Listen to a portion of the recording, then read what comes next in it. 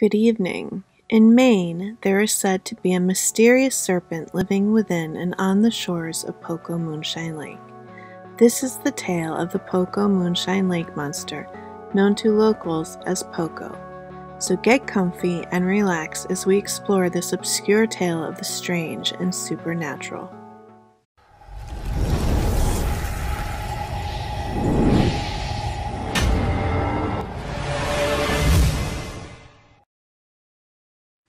Pocomoonshine Lake is a small lake in Washington County. It is reportedly the home of a giant serpent ranging from a length of 30 to 60 feet long.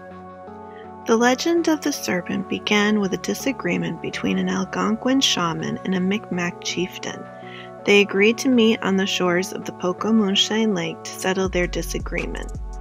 The Algonquin shaman took the form of a giant horned snail, while the Micmac chieftain took the form of a giant serpent.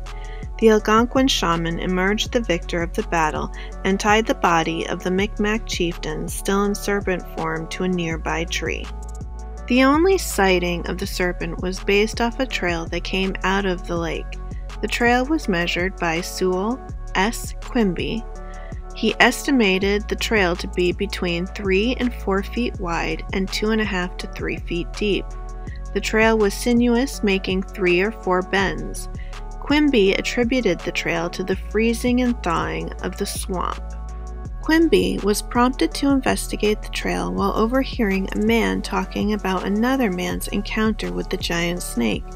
Apparently, the men were planning on going out to the lake to hunt the monster. Quimby would later write the local newspaper refuting the claims of the men who had claimed to see the monster. Another, Manly Hardy, would attribute the sightings to that of otters swimming together, with one in the lead and the others following. So, what do you think? Is there a giant serpent lurking in Pocomoonshine Lake, or is it all a case of mistaken identity? Leave your comments below and let me know what you think. That concludes this week's Obscure Tales of the Strange and Supernatural. Before I end this video, I just wanted to take a moment to apologize for not posting for so long. Life gets in the way, as everyone knows, and sometimes you have to put things on hold and take care of what's going on in your life. I have gotten back to work on video making now, and I am also working on videos for my second channel, Sacred Crown Healing. So if you're interested in healing through spiritual awakening, you can check that channel out. I will start leaving links once I have my uh, new videos up on that channel because I've done a whole rework of that.